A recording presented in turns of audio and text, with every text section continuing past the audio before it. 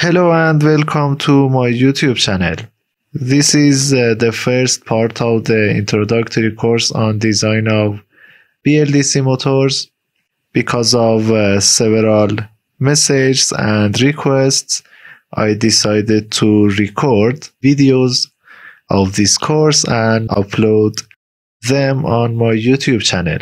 So, this uh, video is the first part of the course and in this video I am going to explain you an overview of uh, the course and the contents that we will cover during this course, the software that uh, we use and so on. The objective of this course is design of a 1 HP motor. Actually, I consider this induction motor as benchmark. This is a 1 HP induction motor. The properties of a 1 HP induction motor, the output power is 1 HP. This is the synchronous speed and the outer stator diameter stack length. This is the core length stator core and rotor core should be lower than 70 mm. Line to line voltage, efficiency, and power factor. Okay, these are uh, properties of the benchmark induction motor. And what we are going to do is design of counterpart BLDC motor for the same output power and speed in the same frame number and see how much uh, is difference between the efficiency of our design and existing induction motor and compare them in terms of line current, power density, motor weight, and so on. Okay, this is the benchmark induction motor. Actually, I selected two 1 HP induction motors from well-known uh, brands, uh, Siemens and WEG. So this is the nameplate of the Siemens motor. You can see the properties here, like uh, the power factor that is 0.8, efficiency is 72.1. This is uh, IE1 efficiency class. So, uh, in this course, at first, we will talk about the properties of BLDC motors and uh, comparison of this motor type with conventional DC motors, brush DC motor, and then we will do we will do analytic design of the motor. Uh, this is introduction. We will talk about the motor properties, uh, the idea behind BLDC motors, and uh, then we will start the analytic design of the motor, and uh, we will talk about the electromagnetic design procedure and the equations that are needed for analytic design.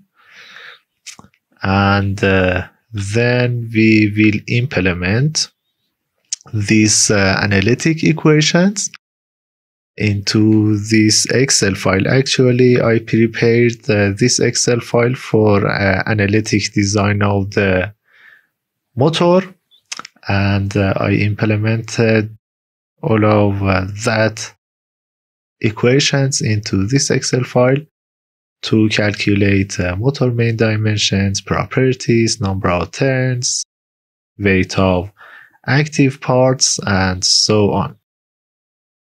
And uh, after uh, analytic design of the motor, we will start finite element analysis of motor to validate, to investigate our design. Is uh, our analytic design correct or not? Uh, can we get desired outputs like as uh, output torque, output power, uh, or not. So for design of BLDC motors, we need to do different uh, finite element calculations.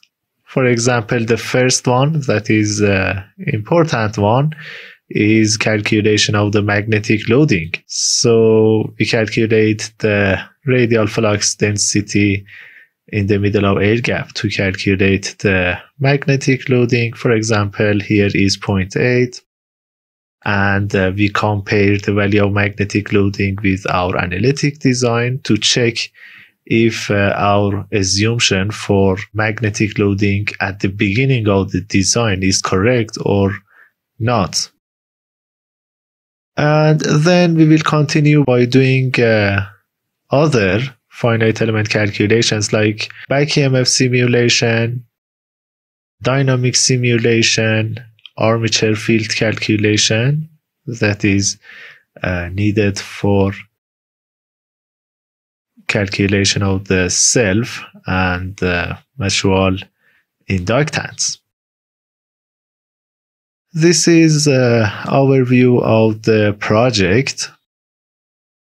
This is uh, magnetic loading. Actually, I prepared this file before and uh, in my previous uh, presentations and projects. Okay. But uh, in this course, uh, we are going to design the motor from scratch.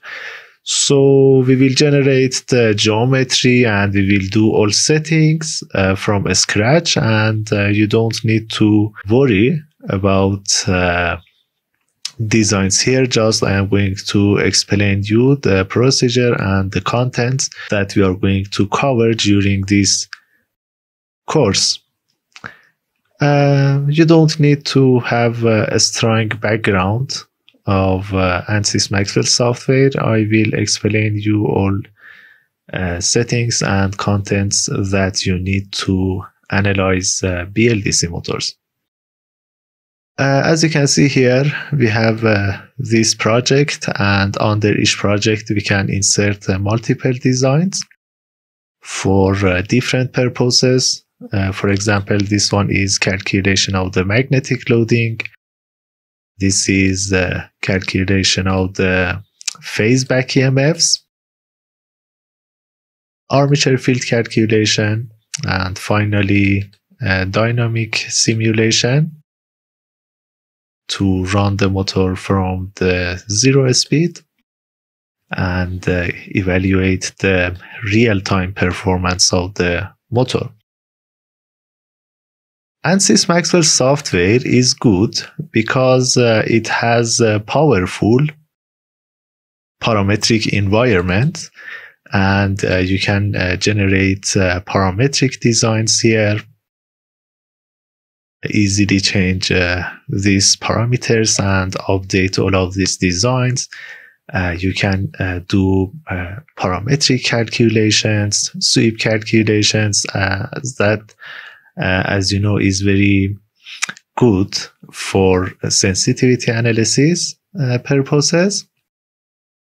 And in ANSYS Maxwell software, we can generate a drive circuit as you can see here, this is the drive circuit of the BLDC motor that we will uh, generate and uh, we will uh, cover it in uh, next videos. Can uh, link this external circuit to uh, the finite element model and do a real-time dynamic simulation that is very good. During the course, sometimes we need to use MATLAB software and uh, I will write uh, I will write uh, some M files to calculate uh, uh, some of motor properties.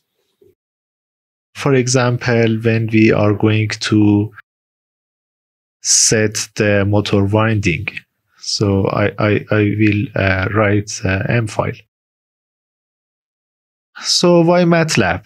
Because the MATLAB software is uh, very powerful in sense of numerical calculations. Many, many built-in functions are available in MATLAB and you can use them effectively and uh, save your time. If you want to use low-level language, so uh, you should install packages and other stuff uh, that we don't need as a, a designer to put time on uh, that tasks. In this part of the course, uh, I will explain you how we can do dynamic simulation uh, faster. Dynamic simulation in uh, using finite element method is very time consuming because uh, uh, we need to couple circuit circuit equations with the field equations and we need to run the simulation uh, with a fine time step size so the simulation will be time consuming. But uh, as you know for the purpose of the design uh, we need to use uh, faster methods because uh, we have to analyze uh, many cases to reach the final design. So in this part of the course, I will explain you how we can do dynamic simulation by uh, direct solving of the field equations. So uh, I will explain you the equations for simulation of the motor considering uh, this inverter and uh, uh, I will explain this uh, analytic method uh, how we can use this analytic method to find the motor currents and the speed uh, during the dynamic simulation. We will also cover some advanced topics like uh, demagnetization study and uh, calculation of the motor efficiency uh, at the end.